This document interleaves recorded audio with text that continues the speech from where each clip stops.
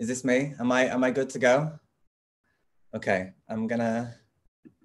All me? Okay, good. Hi, uh, uh, my name's Day Mattar. I'm really, really, really um, grateful that I was asked to to close this conference about diversity in art. Um, and I thought I would, even though I'm at home, uh, dress up a little bit. Um, okay, so I'm a queer poet from Liverpool. I run a collective called Liverpool um, Queer Poetry Collective. And at the moment, I'm leading with my friend Brendan um, a 12 week alternative education poetry course uh, called Queer Bodies. And we are, uh, we're doing really well. We're having workshops every week and we're going to have a pamphlet come out in November with a launch party, hopefully that doesn't get interrupted by COVID. Um, that's the most interesting thing that's happening with me right now. I hope that you've all had a really nice day. Um, and I'm going to start with this poem called For Attention that was published in Rattle magazine in America. For attention. I was 10 when I learned that I could hold my breath long enough to make the adults come running. At the traffic lights after school, I tensed till my face screeched with blood, stars. I shattered two teeth on the concrete, was made a fuss of. It wasn't enough to ask for love. I needed panic. It was the language, the formula that I understood. Harm yourself and love will follow. My tiny face found suspended in the coat rack looking for attention. Cord from dad's dressing gown in a double knot round my neck. Their little balloon. Okay. Uh, that was a poem. I mean, I think that was kind of self explanatory. Um, I used to get called attention seeker in school a lot, and I think I'm doing it right now in this dress. Um, and I just thought about what the opposite connotations of that would have been. And I thought well, it was probably just asking for love. Um, anyway, so the next poem that I'm going to read is called Queer in Russia. Um, I think this is also self-explanatory. I was just, I had a really terrible horror story about one person who was tricked into meeting someone um, who thought that they were meeting a potential partner or a potential date um, and it turned into an assault and it just made me angry. So i read i wrote this poem a few years ago uh, queer in russia. I want queer poetry from russia. Queer russian poetry. Stampeding contemporary zines and journals. Denting the lines. The gates battered, swinging behind them. I want love poems from the queer filmed at gunpoint, made to sit on a glass bottle and confess. For their lovely mouth to open, for the poem to read. At first, I was afraid, I was petrified for that insolence to leave a mark, cleave the, cleave the Moscow Kremlin, rupture the Russian hilltops, loosen earth from its axis and snooker us gorgeously into the sun. Um, I don't know how much time I have left. Uh, I've not been keeping tabs on the time. I think I've got like another seven ish minutes left. Um, so yeah, seven-ish minutes. Okay. So at the beginning of lockdown, I was commissioned to make a piece of writing with a video um, for a drag cabaret that I'm a part of in Liverpool called Eat Me. Uh, and I, uh, I'm good friends with the person who runs it, and I need a deadline, push back, push back, push back. Um, because I just couldn't write anything. I couldn't come up with anything. I didn't know how to write in the vacuum, the new conditions of lockdown and quarantine, and I, I it felt like I was put into a weird kind of choker hold and couldn't come up with anything. Um, and this is a res- this poem is a response to that feeling. It's called Blank Space. Skull like a battered fuse box. Government orders. Stay inside. Don't touch. Don't breathe. Stop fucking. Stop holding. Stop life. Two meters apart at all times. No friends, no family, no capacity for imagination. Brain gone to bed, won't wake. All wires to any emotional response to any of this cut, spitting, fizzing, dead.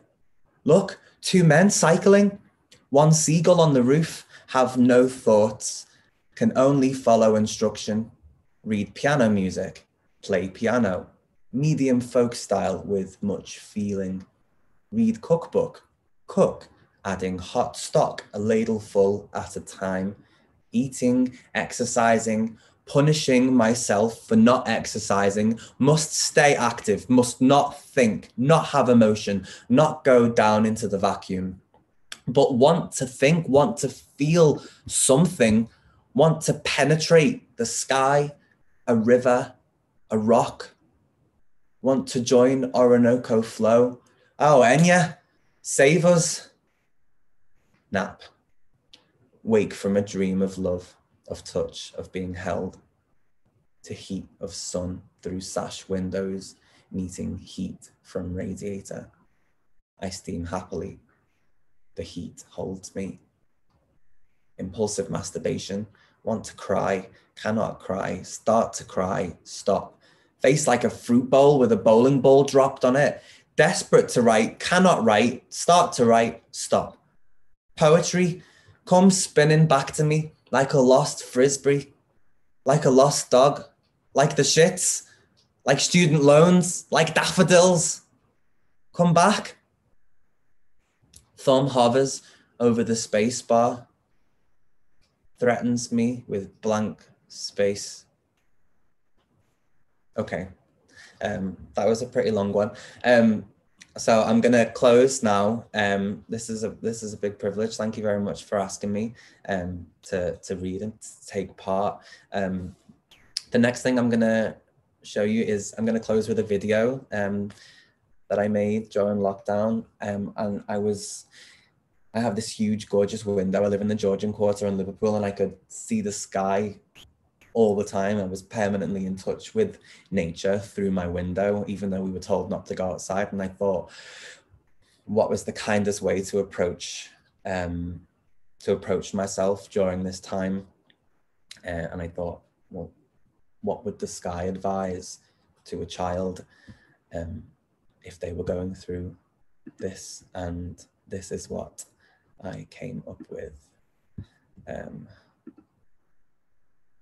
just just a trigger warning there's a little bit of non-genital nudity in this. Um how do i share my screen? Oh, there we go. Okay.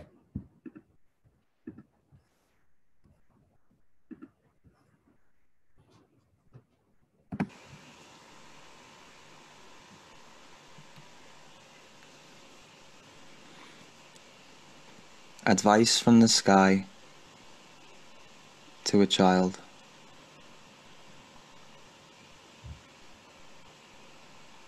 Open the window. Tie yourself to a balloon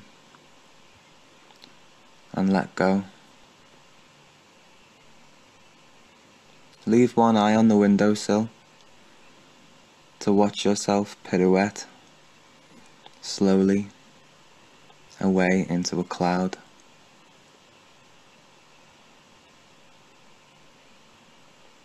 Become a cloud.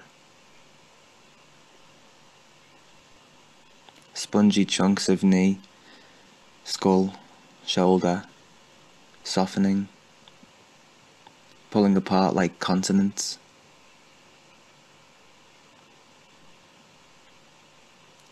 Pass quietly over your house, waking no one. Sail over a mountain that cannot be climbed and crown it. Anchor at the river trapped in its bed. Sigh into a downpour and watch it flood.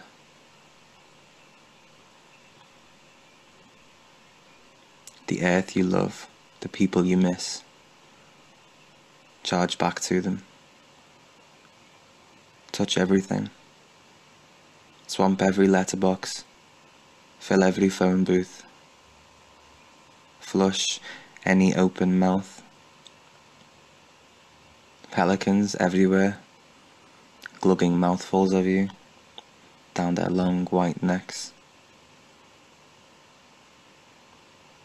Find Mum in the garden, crouched over the soaked buddleia, and anoint her worried head.